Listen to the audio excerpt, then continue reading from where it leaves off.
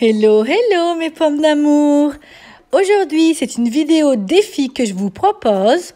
Donc, c'est la chaîne Un thé à Montréal qui m'a contacté et qui m'a proposé de relever un défi. Mon défi était de réaliser une recette marocaine et elle, une recette turque. Sa chaîne est géniale, elle propose des recettes simples, faciles à réaliser et très savoureuses. La cuisine marocaine est favorisée donc n'hésitez pas à vous y abonner. Pour ma part, j'ai décidé de réaliser des gâteaux simples et faciles à base de noix de coco et de confiture de framboise. Allez mes pommes d'amour, passons à la recette. Pour les ingrédients, on aura besoin de 125 g de beurre, de 125 g de sucre, d'un œuf, d'un sachet de levure chimique et d'un sachet de sucre vanillé, d'une pincée de sel, d'une cuillère à soupe de fleurs de maïzena et de 250 g de farine. Pour la décoration, on aura besoin de 40 g de noix de coco râpée et de 100 g de confiture de framboise. On va réaliser la pâte. Pour cela, je prends le beurre à température ambiante donc que je mets dans mon bol ainsi que le sucre. Et je commence donc à battre l'ensemble pour bien imprégner les deux. Voici ce que vous devez obtenir. Ensuite, je vais y ajouter l'œuf.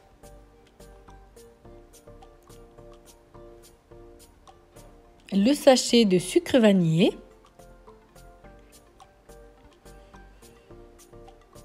La maïzena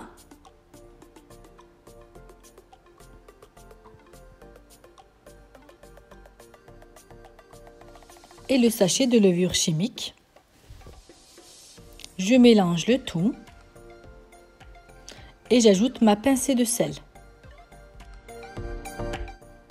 Et enfin, j'y ajoute petit à petit la farine. Voici la pâte obtenue. J'enlève la feuille pour vous montrer. C'est une pâte qui ne colle pas et qui est bien facile à utiliser.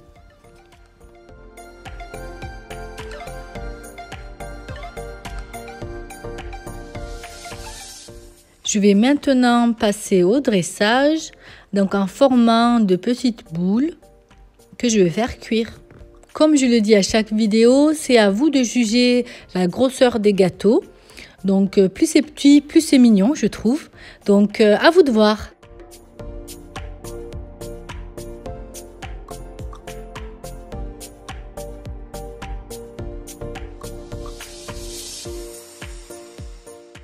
à l'aide d'un ustensile, donc euh, moi j'utilise un couteau, donc je forme le trou qui est au milieu des gâteaux, comme ceci. Mes gâteaux sont prêts à aller dans un four préchauffé à 180 degrés pendant 8 à 10 minutes.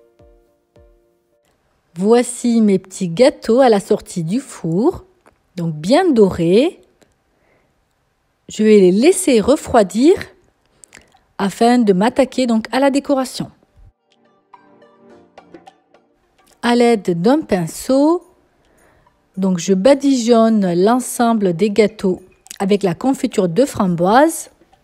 Vous pouvez également utiliser d'autres confitures, c'est à vous de juger. Je sais que ça se fait également à l'abricot ou à la fraise.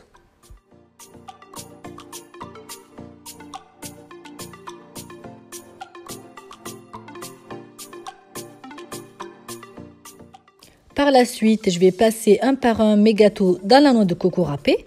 Et enfin, je termine par mettre une petite cuillère de confiture de framboise au milieu. Voici ma petite vidéo défi terminée. Merci de l'avoir visionnée. Je remercie également la chaîne Un thé à Montréal de m'avoir proposé ce défi. Dites-moi en commentaire mes pommes d'amour si j'ai réussi ou pas le défi. Abonnez-vous à sa chaîne, elle est superbe. N'hésitez pas, comme d'habitude, liker, commenter, partager. Je vous dis à bientôt pour une prochaine recette. Ciao ciao